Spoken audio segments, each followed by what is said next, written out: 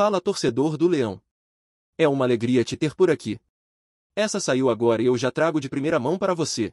E se você quer ficar por dentro de tudo o que acontece no Tricolor se inscreva agora mesmo para ficar sempre atualizado sobre o Fortaleza. Feito isso? Vamos à notícia. Caminho inverso. Com Wellington Rato, atacante negocia com Atlético Goianiense para deixar o Fortaleza. Atacante do Leão do PC pode deixar o elenco depois de ser colocado como negociável por Vosvoda.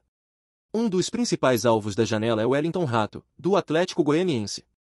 Além do Leão do PC, o clube goianiense também confirmou recentemente propostas de Cruzeiro e São Paulo, no Brasil, além do Al-Batin, da Arábia Saudita. Apesar do interesse também do Vasco, o destino mais provável é no tricolor cearense. Com a chegada do camisa 10 à Arena Castelão, um atacante pode deixar o elenco. Está assistindo essa notícia e ainda não deixou seu like?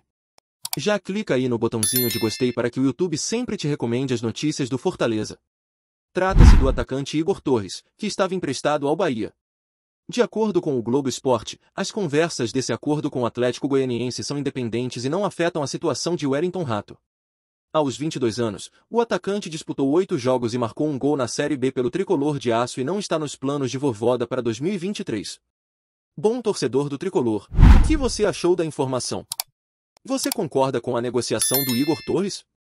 Comenta aí sua opinião, eu gostaria muito de saber o que você pensa disso. Ah, e fica ligado no canal, porque eu estou sempre postando as últimas notícias do Fortaleza. Se inscreve para não perder.